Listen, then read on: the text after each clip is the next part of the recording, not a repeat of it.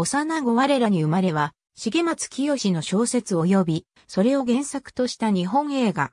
良き父親でいようと努力を重ねる、バツイチ再婚の男、田中晋。彼は、会社での付き合いもそこそこに家庭に奉仕し続けてはいたが、妻、七重の連れ子たちとの仲はうまくいっているとは言えなかった。そして、七重が神との子を宿すに至り長女、薫は岐阜への剣を剥き出しにし、本当のパパに会いたいと漏らして、接触を立とうとした。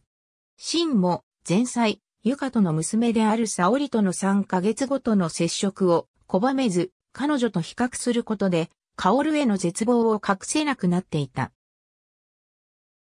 懐いてくれる次女、エリコにも比して義父を拒む薫に怒ったシンは、苛立ちのままに七重の前夫、沢田に会う。家族に暴力を振るい続け父の立場を放棄した沢田に、あえて求められた金を払ってまで義手との接触を求めるシン。感触に左遷され自暴自棄になった彼の決心の末の行動だった。だが、指定された日に、沢田の前に薫は現れなかった。他方、いきなり真の元を訪れた沙織は、癌に蝕まれた岐阜の死の床へ向かうことに躊躇し、真の同行を望んだ。そして、岐阜を前に、彼への隠していた愛情を明らかにする沙織を前に、真は密かに岐阜への感謝を捧げた。帰宅した真は、沢田に会うこともなく戻っていた。薫の嘘を、やんわりと叱り、彼女を抱いた。薫もその手を振り払おうとはしなかった。そして後日、子を出産する七重の病室に家族は集い、新たな一員を迎えるのだった。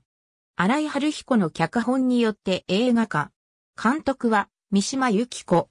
2017年8月26日公開。